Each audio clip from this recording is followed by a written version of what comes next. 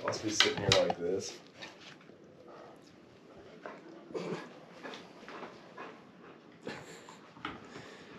I'd look good behind something like this, huh? And we'll. All right, Carsen and I are up here at the ranch again this weekend.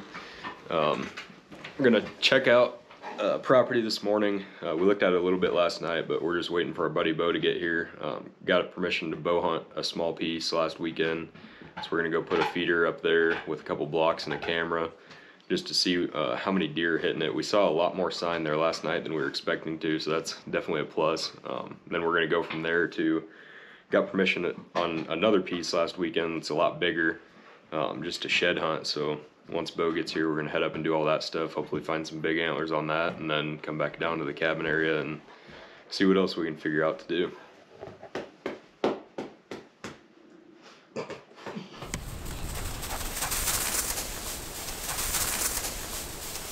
That uh, The elm tree.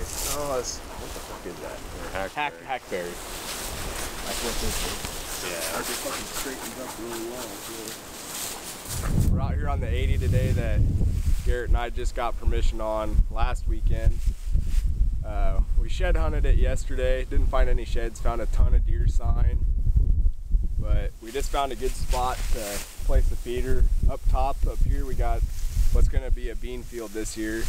And then most of their bedding is going to be behind us or to the west. So we're going to go ahead and get a feeder set up here set a trail camera up and see what's around. Load it up.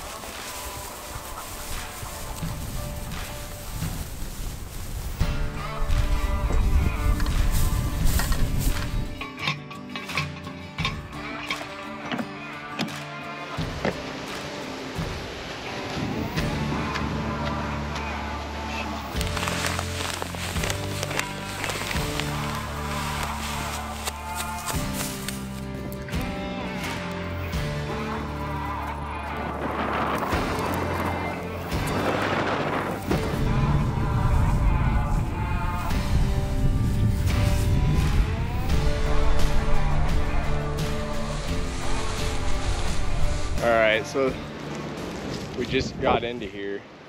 Super windy. It's not too bad down here, but up top it is really windy. But you guys can kind of see how thick this is. Full plum thickets. So me and Athena right now are working our way and weaving our way through here. But this property is insanely big, and I don't know how much we're gonna get covered for the rest of the day, but hopefully find a few sheds. There's some big ones in the area, so we'll see. Oh, I didn't even film that. I've seen job loans up on the hill. the muley. Found another deadhead. Say that's this past year's.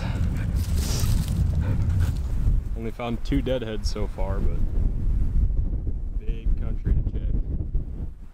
Finding way more elk sign than deer sign. Hopefully we'll stumble onto one of those sheds, that'd be sweet. Rough country. How tall are you, Beau? Six one. What do you think that is? It's definitely an elk. Yeah, this property's pretty insane because to the north we got muley country and it opens up quite a bit. A lot of elk. They said they saw a lot of elk in here last year, so maybe we'll find an elk shed. Or a muley. Hopefully we find something. elk rubs up here. Busted off up to their hands.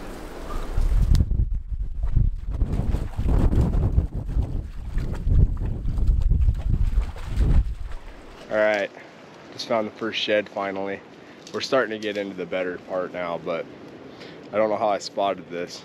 I have confidence I have not been walking by any because I spotted this probably 20 yards up the hill, flipped upside down. Here he is. Nice. I have no idea how I spotted that. Just the burr and the brow tine.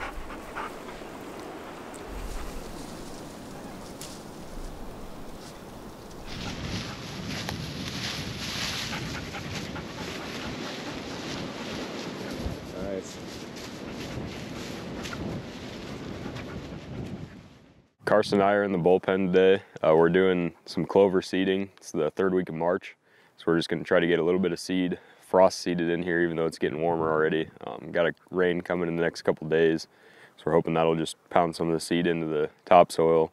Um, we had brassicas planted in strips all the way from the east to the west end on the bullpen last year, and then uh, the rest of it was beans. And we're gonna switch what was brassicas to clover this year, like a nice green food source when everything else dies. Um, clover, clover will be able to do that and withstand browse pressure from the deer. So we're gonna get all that seeded that we can today, and then um, start working on the rest of the plots and all that stuff in the near future.